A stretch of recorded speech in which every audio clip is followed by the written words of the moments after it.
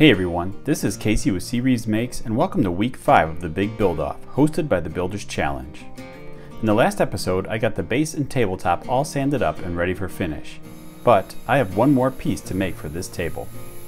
As I mentioned, I have chosen Home of the Sparrow as my table's recipient, and they have an amazing sparrow logo that I somehow wanted to incorporate into my table. My wife came up with the idea that I should create a lazy Susan and then inlay figured maple into it. Then I could create an epoxy sparrow inlay into that maple. So you've been watching me mill up the stock for the Lazy Susan, which will be about 20 inches in diameter and 1 inch thick. The process is pretty straightforward in the early steps.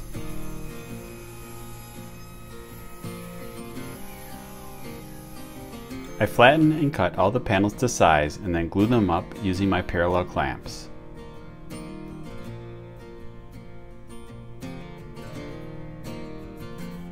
My planer is horrible with figured maple, so this is where the drum sander really shines. I can clean this wood up in no time with an 80 grit belt and dust collection which is far superior to my planers. Being that the Lazy Susan was going to be round, I also chose to make the inlay round. I marked out a circle, found the center, and mounted the base for the Rockler Compact Circle Jig. This jig is awesome for small projects as it can cut circles from 6 to 24 inches in diameter.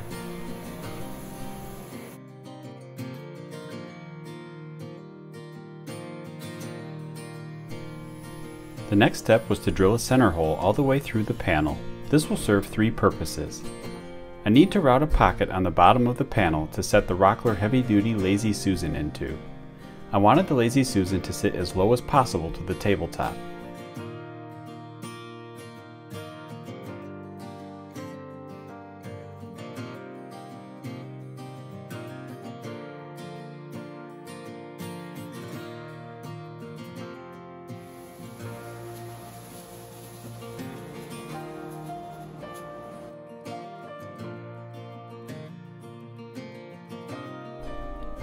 The second reason for the center through hole was that I needed to cut the outer diameter and remove the pieces.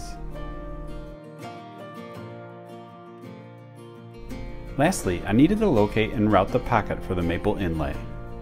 Using the same hole would ensure that all three processes would be concentric to each other.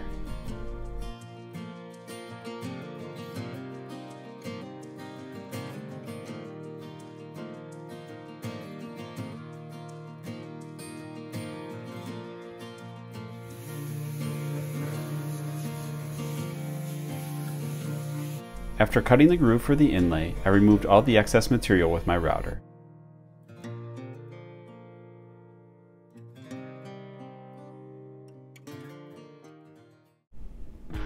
And now it's on to the fun part. I love to do freehand routing work wherever I can. It is so therapeutic to me and it adds that extra personal touch that is hard to duplicate in the handcrafted world. I start by printing out the sparrow and using graphite paper to transfer it to the maple. I will be using MAS Flag epoxy for this project. For the colors, I chose pearl white and then a blend of midnight and royal blue. After all the routing is complete, I very carefully drip epoxy into the grooves, making sure that it completely fills and that all air bubbles are expelled. After it dries, I sand it back and then retrace my next pattern.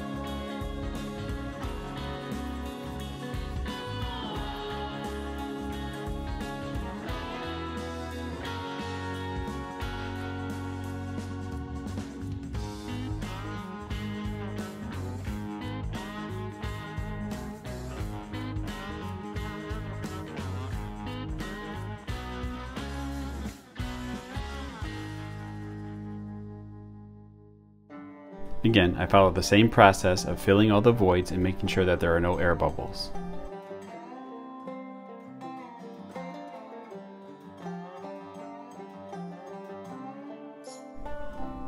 I set the epoxy aside to dry, and then it was back to the Lazy Susan.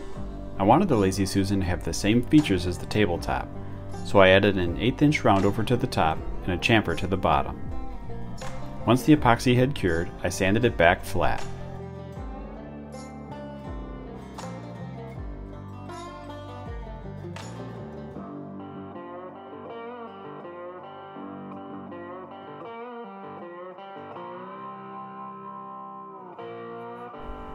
Now I need to resaw the inlay to rough thickness and then sand it close using the drum sander.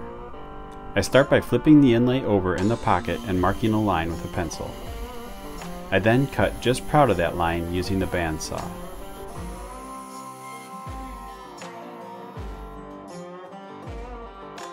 And over the drum sander to tune the thickness. With a test fit, the inlay was just a tick taller than the walnut Lazy Susan.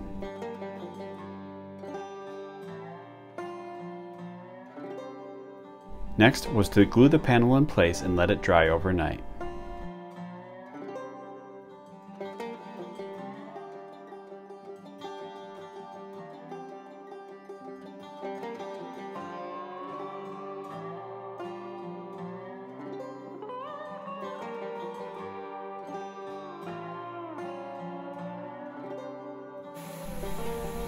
After it had dried, I sanded the entire Lazy Susan to prep for finish.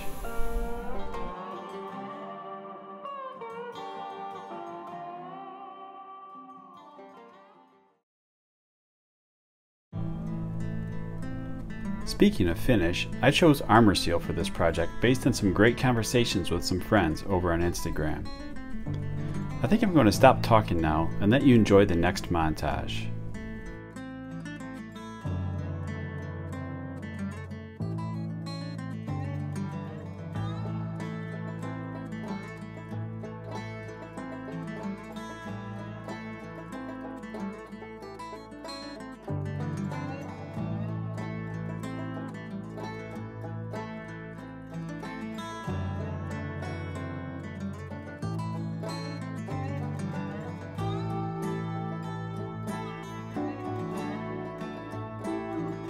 Now, all that was left was to insert the bearing ring. I used the playing card trick to make sure that the ring was centered in the Lazy Susan. I basically kept adding cards until each stack had the same amount of cards.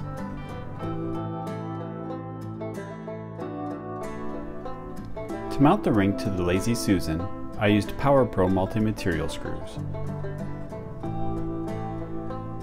I also removed the plastic sliders on the ring and added rubber feet. These ensure that it will stay in place on a tabletop. Sit back and enjoy as I apply finish to the rest of the table.